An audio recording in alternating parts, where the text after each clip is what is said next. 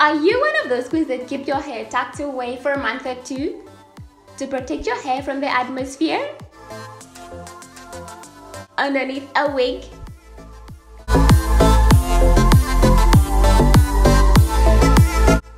In a protective hairstyle?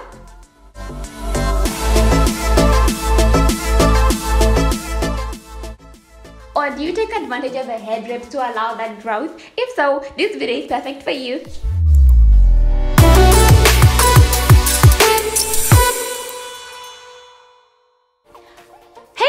Welcome back to our channel. So this is the state of my hair. I know it looks crusty and guys, can you see the growth? I haven't touched my hair for like two months so, and guess what? Today's wash day, right? So I'm gonna go ahead and use my DIY oil just as a moisturizer to make sure that I untangle and unravel my hair because honey, can you see the roots? There's a lot of tension there and we are trying to minimize the shedding over here, okay? So I'm gonna work in sections and I'm gonna try and detangle my hair just like so. I normally take advantage of the winter season just to take away my hair. Just to make sure that I allow that growth, honey. Okay, I know. Yes, I take advantage of the cold. And yes, my hair is in the need of the trim.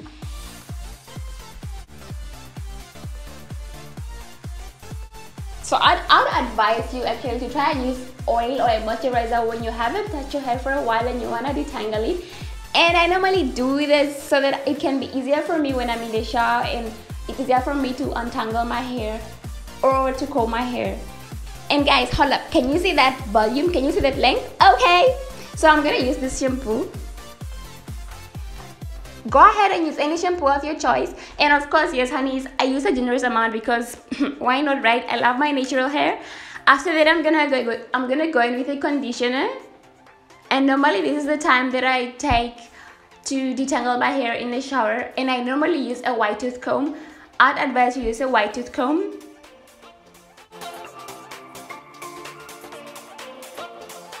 Next, I'm gonna go in with my hair mask and I allow it to sit for plus or minus 15 minutes before I wash it out.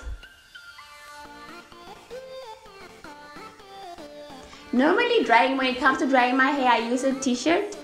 That way I can avoid a lot of split ends and I'm gonna go in with my leave-in conditioner. After that, I'm gonna go in with my shea butter. Next, I'm gonna go in with my strengthening cream followed by some grease. This is jojoba oil. After that, I'm gonna go with an oil.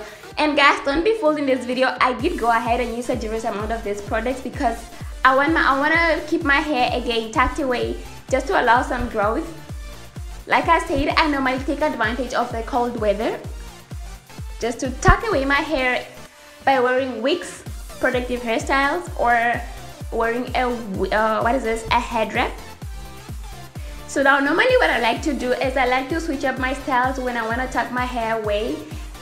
Today I felt like doing some cornrows because as you saw from the beginning of the video, uh, it was in chunky braids.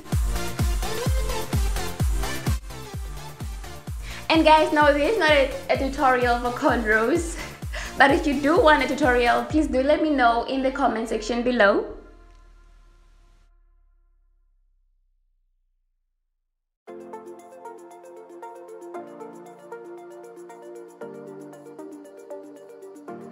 Ooh, length check. Okay, okay, I see you.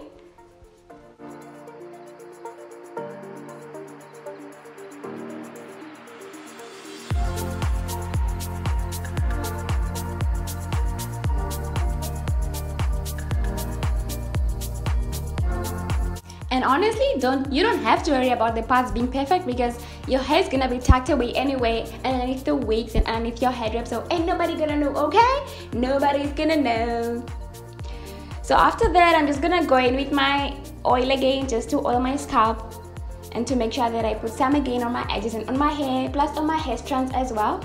And guys of course even though my hair is gonna be tucked away underneath the wigs and these head wraps I still do wash my hair in these braids. I still wash my hair I still do my DIYs and I still moisturize my hair as well. So just because your hair is tucked away, you don't need to neglect your hair. You still need to take care of your hair as well. And this is the purpose of this video.